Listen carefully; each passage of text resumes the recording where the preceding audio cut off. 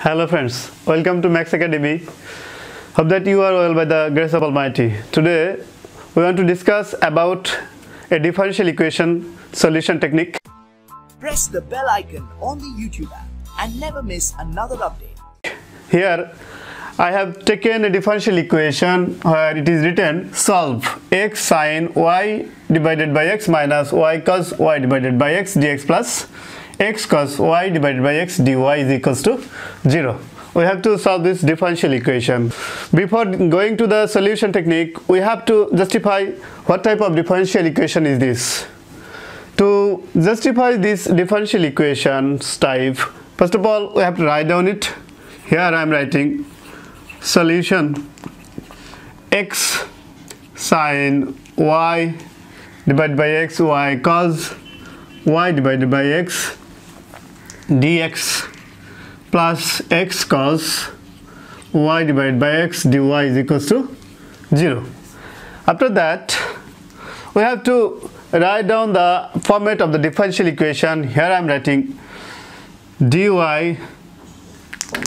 okay x cos y divided by x dy is equals to minus x sine y divided by x minus y cos y divided by x dx.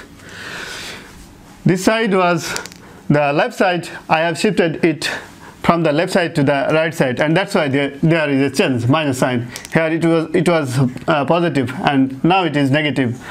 After that we can write down dy and here dx by using the cross multiplication technique. So now minus x sine y divided by x minus y cos y divided by x and this is this here the multiplication and if we want to shift this um, term to the right side it will be the term of the denominator x cos y divided by x. Now this is the format.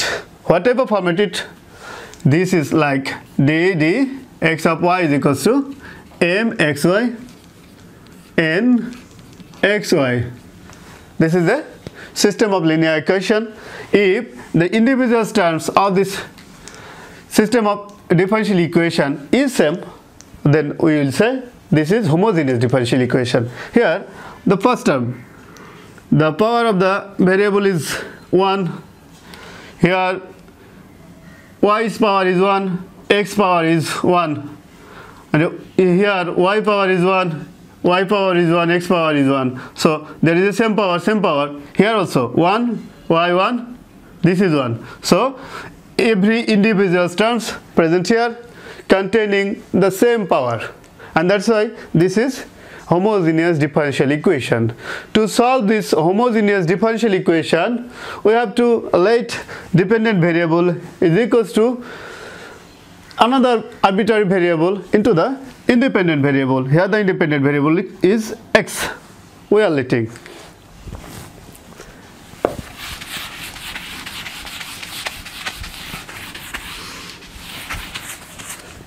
Okay. I am putting this is equation number 1 and then let y is equals to vx from this expression we need to find out this term d dx of y. That's why we have to differentiate this term by x. So i am writing d dx of y is equals to d dx of vx. and then since there is two terms we need to use uv formula. So d dx of y is equals to v d dx of x plus x d dx of v. Here d d x of y is equals to v. This is 1 and that's why v into 1 is equals to v plus x d d x of v. And now it is calculated d dx of y.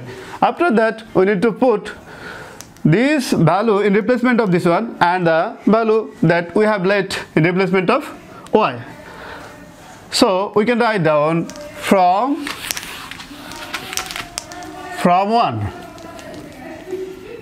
from 1 after putting the value of y is equals to vx and the value of uh, d dx of y we will get this line. And then v plus x dv dx is equals to it will be minus x sine this x and this x cancel sine v vx cos this x and this x cancel cos v. And since there is a minus that is the subtraction then this sign that is this minus will be plus. And then x cos this x this x cancel cos v. Actually v plus x dv dx is equals to we can write um, x v cos v minus sin v divided by x cos v. This x and this x is cancelled after this line we can write down x d dx of v is equals to v cos v minus sin v divided by cos v minus this v and now we can say the cos v is our LCM. After that, we can write V cos V minus sin V minus V into cos V. And this cos V cos V, this cos, uh, V cos V is cancelled. Now, we can write down from this line x dv dx is equals to minus sine v divided by cos v. And here x dv dx is equals to minus tan v. So by using cross multiplication technique we can write down um, dv divided by tan v is equals to minus dx divided by x here, if we look very clearly, then it is um, clear to us that this is variable separated because of there is only the terms where v is present and there is only x. So we have to integrate now. I am writing here now integrating both sides. Integrating both sides. So it will be 1 divided by tan v dv is equals to minus 1 divided by x dx. And since here cot v dv because of 1 divided by tan is equals to cot here v is present so cot v. Minus 1 divided by x dx now we know the formula of integration cot v dv is equals to ln sin v is equals to minus ln x plus ln c. Since this is infinite integration so we have to write a integrating constant after the calculations. And then we can write down the new line ln sine y divided by x because of this is our let variable. That's why we have to put the value of v.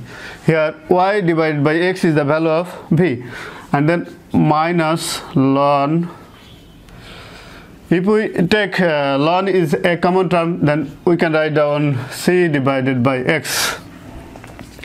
Now cancel ln from both the side here sine y divided by x is equals to c divided by x this is our solution of the given differential equation.